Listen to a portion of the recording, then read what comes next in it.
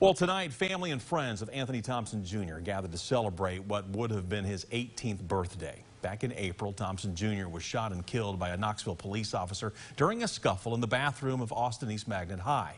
All four officers involved were cleared of any wrongdoing, which prompted several protests and calls for justice.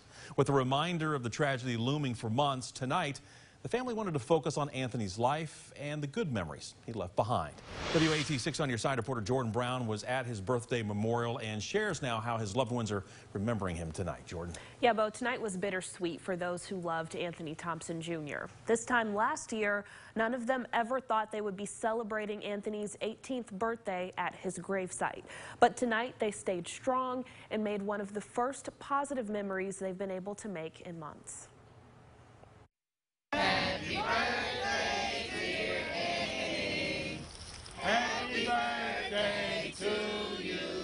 With heads held high and balloons in hand, this family is here for a celebration. This would definitely make him happy.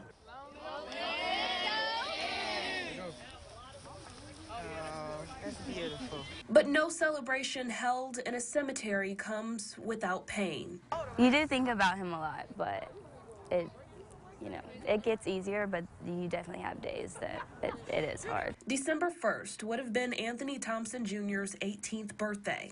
And while this group is here to observe the milestone, they can't help but feel some emptiness without the guest of honor. Everybody that knew Ant knew that he was a good friend, a good person all around. Um, he has the ability to make you smile, make you laugh. It feels good to be here with the rest of the family, but like with him not being here, it kind of it, it, it's not kind of hurt. It really hurts. But like Anthony would have wanted, they're taking their pain and moving forward the best they know how. It's definitely something hard. It's definitely hard, but um, we just we say we tell each other take it day by day, one day at a time, um, and I think that definitely is what you have to do. Now, Anthony would have been graduating from Austin East Magnet High School in the spring.